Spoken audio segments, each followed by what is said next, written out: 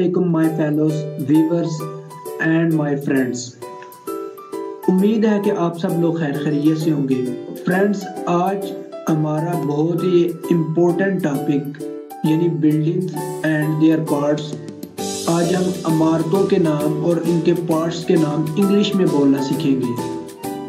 Video को last तक ज़रूर देखें, क्योंकि लास्ट में आपका टेस्ट लिया जाएगा, जिससे आपको पता चलेगा कि आप कितने इंटेलिजेंट हैं और आपका आईक्यू लेवल क्या है। पिछली वीडियो में मैंने एनिमल्स के नाम और परिंदों के नाम इंग्लिश में बोलना सिखाए थे।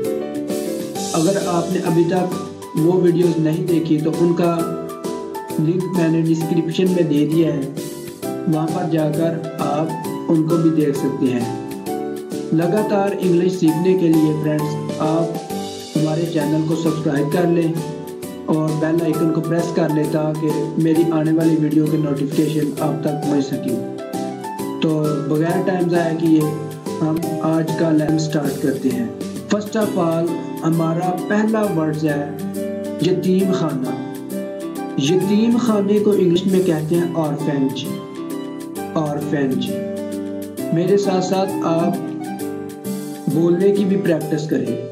यतीम खाने को इंग्लिश में कहते हैं ऑर्फेंज जामिया को इंग्लिश में कहते हैं यूनिवर्सिटी यूनिवर्सिटी महराब को इंग्लिश में कहते हैं आर्च आर्च मंजिल को इंग्लिश में कहते हैं स्टोरी स्टोरी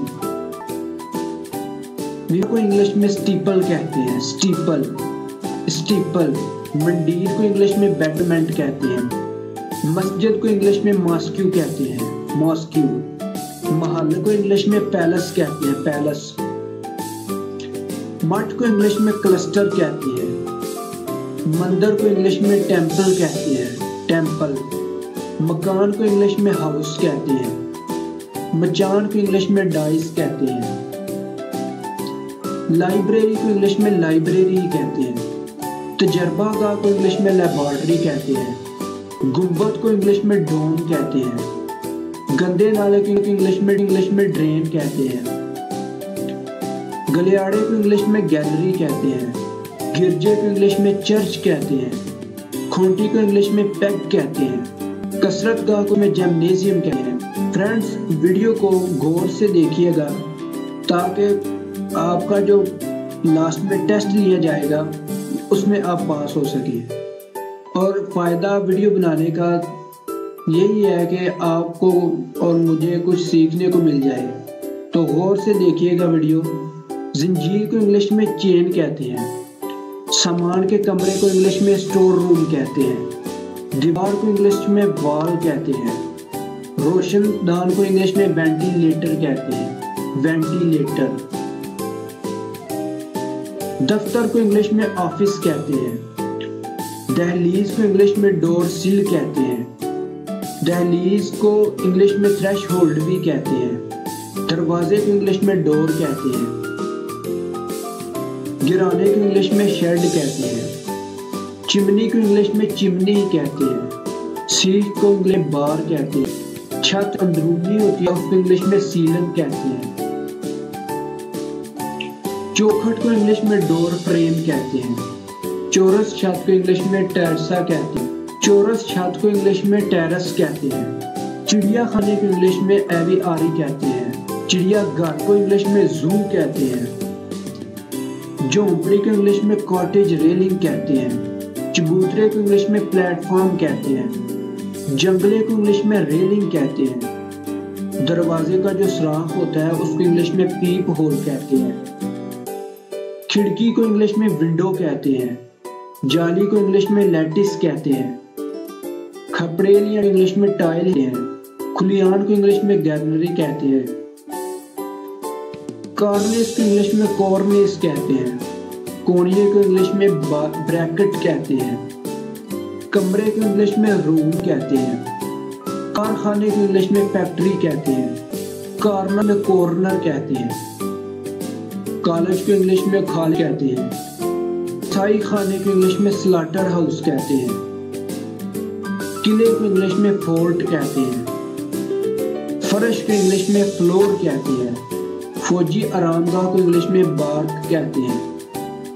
गसल खाने को इंग्लिश में बाथरूम कहते हैं। फवारे को इंग्लिश में फाउंटेन कहते हैं। सेहन को इंग्लिश में कोर्टयार्ड कहते हैं। अमारत को इंग्लिश में बिल्डिंग कहते हैं।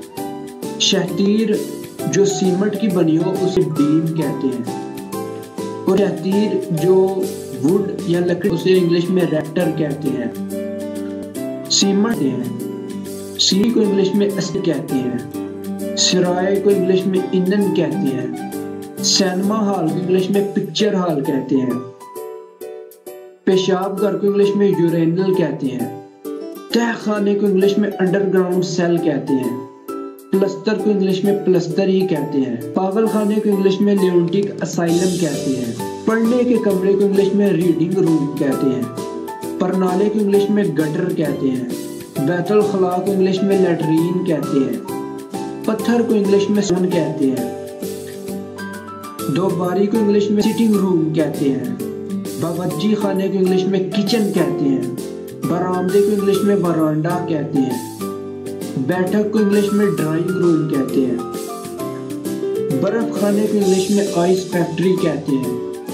बरसाती को इंग्लिश में पोर्टिको कहते हैं। आरामगाह को इंग्लिश में बेड रूम कहते हैं। बुनियाद को इंग्लिश में फाउंडेशन कहते हैं। आँगन को इंग्लिश में कॉर्टयार्ड कहते हैं। स्कूल को इंग्लिश में स्कूल ही कहते हैं। अंगीठी में हर्थ कहते हैं। अस्पताल को इंग्लिश में हॉस्पिटल कहते हैं। अटारी को इंग्लिश में आर्टिस्ट कहते हैं। स्टूडेंट्स अब आपका टेस्ट लिया जाएगा। आपने अभी जो कुछ इंग्लिश में बोलना सीखा, अब हम उसका टेस्ट ले रहे हैं। इसके नतीजे से आप भी जान जाएँगे कि आपको कुछ याद भी हुआ है कि नहीं। हर सवाल के पाँच नंबर हैं टोटल तीस नंबर का टेस्ट है।